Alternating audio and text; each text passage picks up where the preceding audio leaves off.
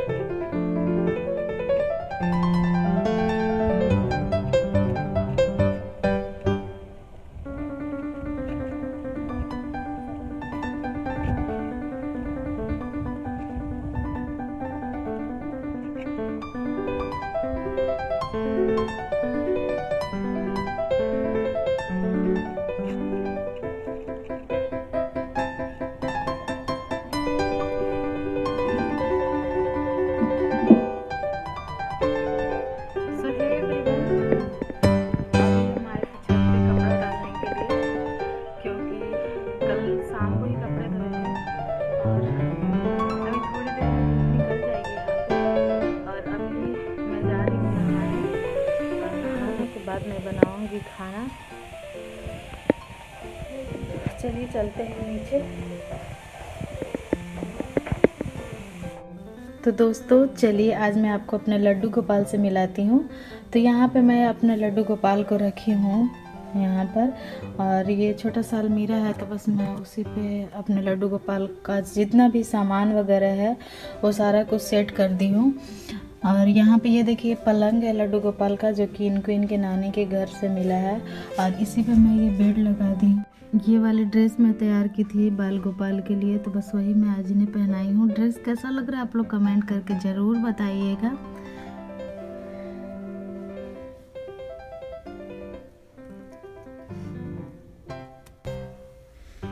और यहाँ पे नहाने के बाद किचन में आ गए थे और यहाँ पे बना रहे थे सब्ज़ी, आलू की, सीम की, बैंगन की और सबसे पहले तो सरसों का तेल कढ़ाई धीपने के बाद उसमें सरसों का तेल डाल दिए और फिर प्याज देखिए, ये सीम है और ये आलू है। अभी जो सीज़न है, इसी का है।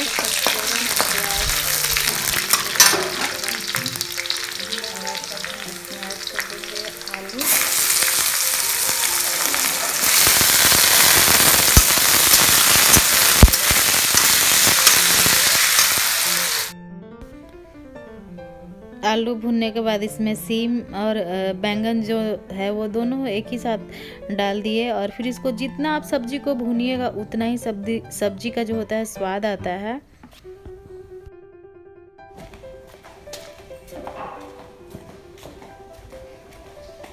और बस मैं आ गई हूँ फिर से वापस किचन में यहाँ पर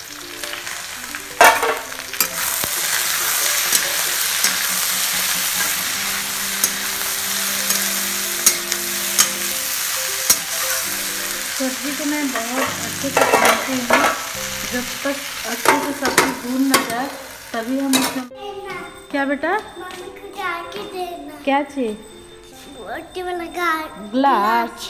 ओके कैप लगा लीजिए जाइए। नहीं ये वाला ना वो वाला कैप लगाइए। और दोस्तों ये आप देख रहे होंगे तो आपको लग रहा होगा कि ये पनीर है लेकिन ये पनीर नहीं है इसमें मैं चावल धो करके और ये कॉटन का कपड़ा है, इसमें मैं इसे बाँध करके रखी हूँ। जब तक चावल का पानी गिर जाए, इसके बाद मैं इसे भरका करके और इसे मिक्सी में पीसूँगी। ये है चावल। ये नया चावल है। और इसे मैं भिगो करके और कपड़े में बाँध दी थी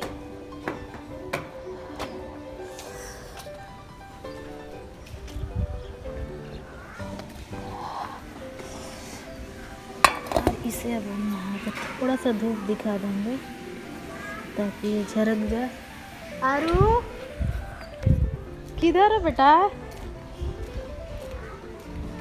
किधर हो तुम? क्या कर रही हो? तो ये देखिए दोस्तों, धूप निकल चुका है, जैसा कि मैं बोली थी। और थोड़ा सा भी हम धूप में बैठेंगे। इतना मेरा चावल भी छरक जाएगा। और यहाँ पर चावल सूखने के बाद इसे मैं मिक्सर में ग्राइंड कर ली हूँ और ये देखिए हमारा चावल का जो आटा है वो तैयार हो गया है। और अब इसका बनाएँगे हम भबरा तो सबसे पहले तो इसमें डालेंगे जीरा, मरीच और मिर्ची और अदरक का पेस्ट तैयार किए हुए थे तो उसे इसमें डालेंगे। और उसके बाद इसमें पानी डाल करके इसका बैटर तैयार कर लेंगे। और थोड़ा सा चना है भिगोया हुआ और थोड़ा सा हरा मूंग है तो उसे हम इसमें ऐड कर लेंगे और बनाएँगे आज भबरा तो ये देखिए, इसमें बिल्कुल भी लम्ब्स नहीं पड़ते हैं क्योंकि ये चावल का आटा है। जैसे मैदे वगैरह में लम्ब्स पड़ जाते हैं, इसमें नहीं पड़ता। तो इसमें ये देखिए, मैं ब्लैक चना डाल दी हूँ और ये देखिए, मेरा भबरा बन रहा है। और यहाँ पे मैं इसमें पालक भी, हरा पालक काट करके डाल दी थी और बहुत ही यम बना था। चावल लेकिन बहुत बढ़िया है। एकदम मोती लियन चावल है। ना।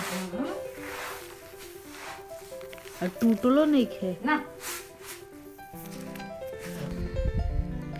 और यहाँ पे हम लोग चावल को बोड़े में पैक कर रहे थे क्योंकि जो चावल था वो बहुत अंदर से भरा हुआ था तो उसे दरवाज़ा नहीं खोलने बन रहा था।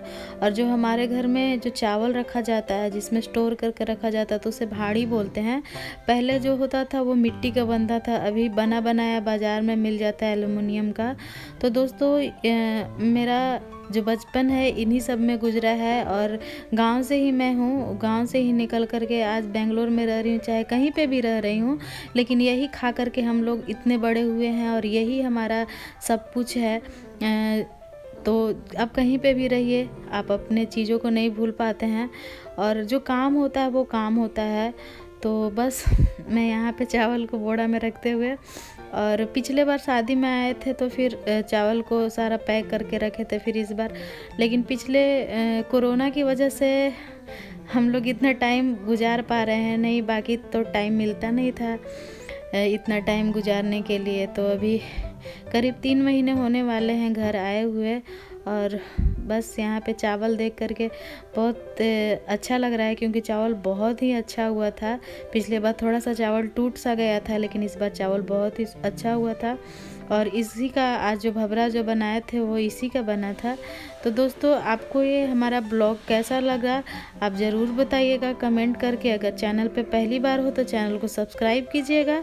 मिलती हूँ मैं फिर से। तब तक के लिए बाय बाय